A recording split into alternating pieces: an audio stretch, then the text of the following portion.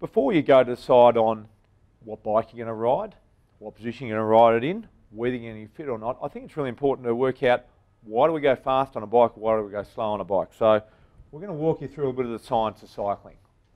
So first thing we're interested in is, and I hope you can guess from here, body weight. Okay, so we're going to talk about the three, to me, the three key principles of, of what makes you go fast and slow. Body weight is one of them. Anyone guess what the next one is? Wind resistance. Okay. Now, we're going to talk a bit about that as triathletes because it's pretty damn important. Okay, and the third one really is technology. The more money you spend, the faster you ride, obviously, because that's more high tech. So, you know, getting these sort of things around. Now, we're going to try and rip through this. We don't have a lot of time to get through what we want to tonight there. So, we're looking at resistance here.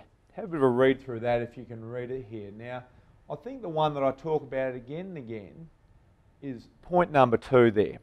So we're talking about going from a three or four thousand dollar bike to an eight or nine thousand dollar bike. We're going from seven and a half kilos to six and a half kilos.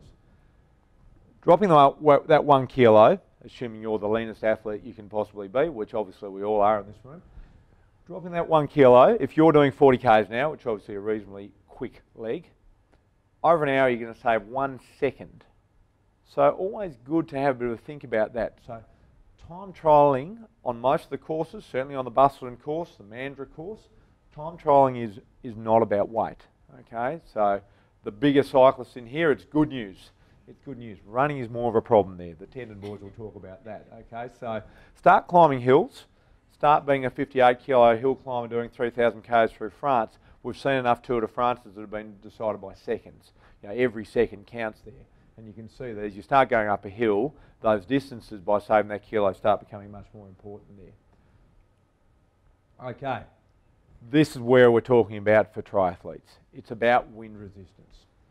Okay, 70 to 90% of the resistance moving forward on a flat surface is wind resistance. So this is where, and I say again and again, you don't get many free things in triathlon, but you can get free speed if you're in the right position. Okay, if you're in the right position. Now, we'll talk more about the factors that allow you to get into that position as we move forward here. So then you look at your rolling resistance, which is that combination of weight and tyres and tyre pressure and bits and pieces there. Transition uh, resistance, Dura Ace versus 105, little things like that. You know, but you can do the maths. Air resistance is what's really, really important there. And that bike position affects that hugely.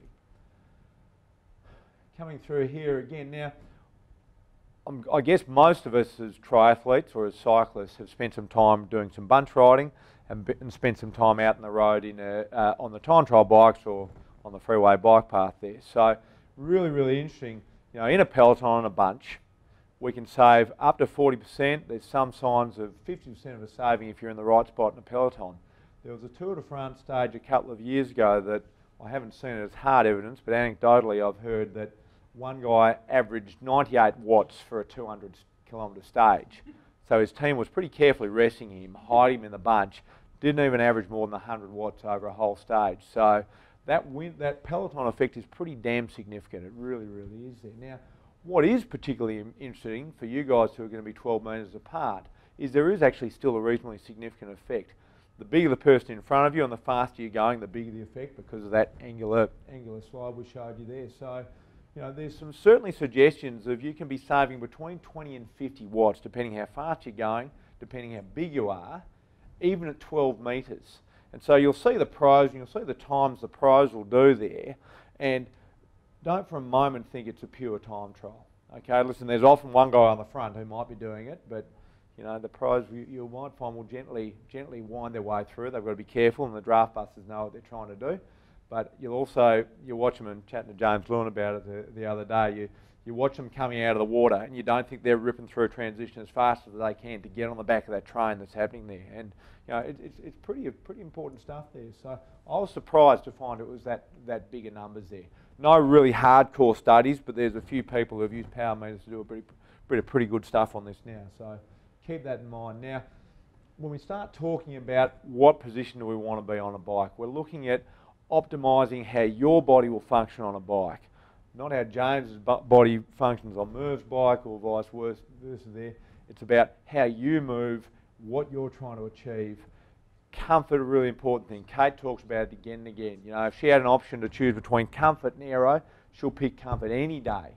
You know, the confidence you have when you feel good on a bike, the knowledge you've got to get off and run 21 or 42 k's or however long afterwards, they're so, so important there. So you've still got to run when you get off, off it there.